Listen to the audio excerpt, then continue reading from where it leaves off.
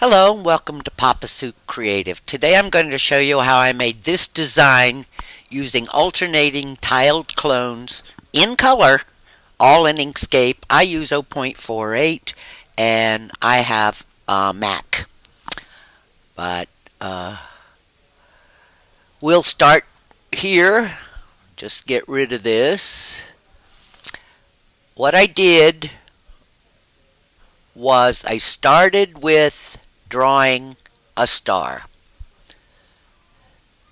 Now when you do this you will find that depending on the size of what you draw it will affect your pattern but I will show you how you can adjust that when we get to the end. So I drew a star and then I drew a, a circle. Again the distance between these two will also make a difference in how your pattern turns out. But maybe we'll make the star just a little bit bigger.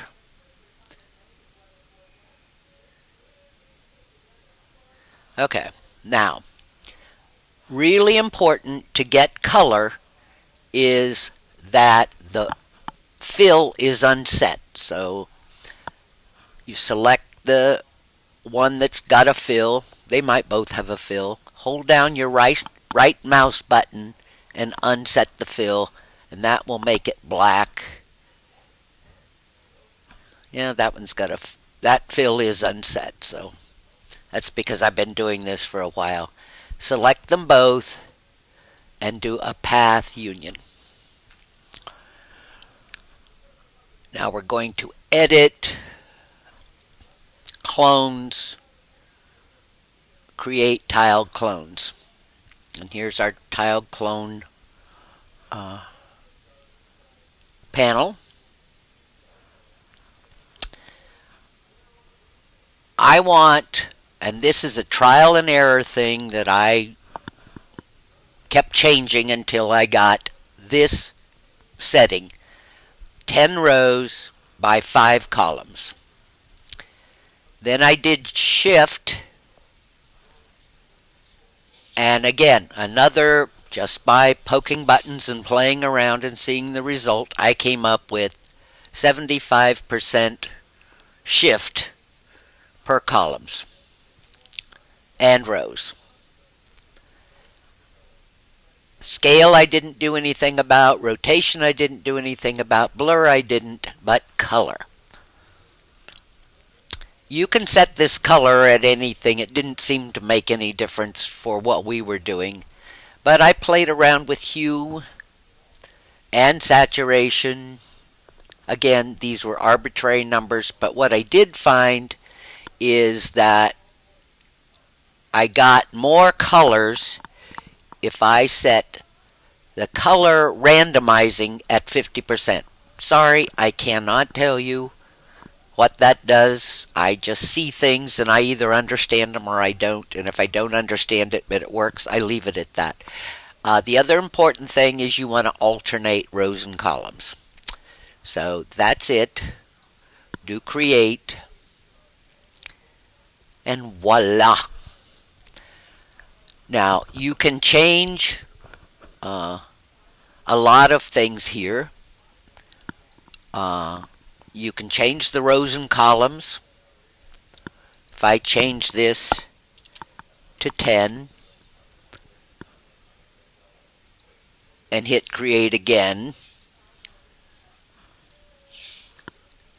it changes the shape. So, so let's go back to 5.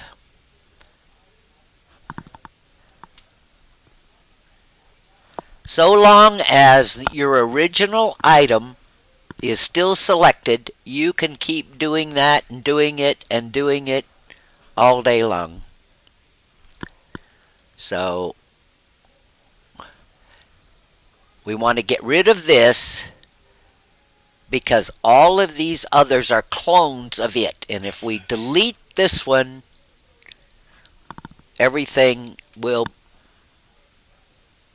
become a path. Nope, it didn't because I so let's edit and do the delete.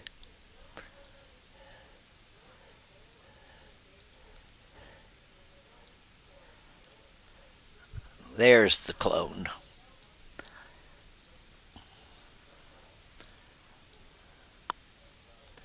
Now I've really screwed this up.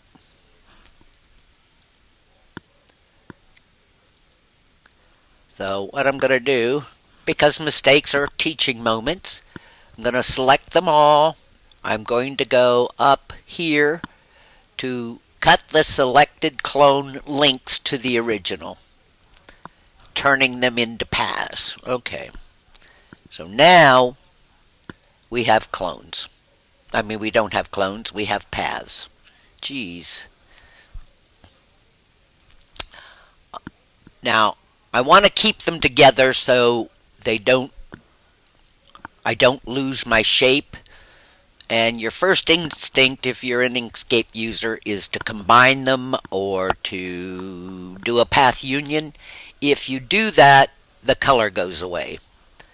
It's another one of those things I have no idea why, I just know it is. So I select all of them and do an object group. So now I have a group. I actually have my pattern. Uh, it's 8 by 7, uh, which works for me because I do cards. But you can uh, make this, say, 11.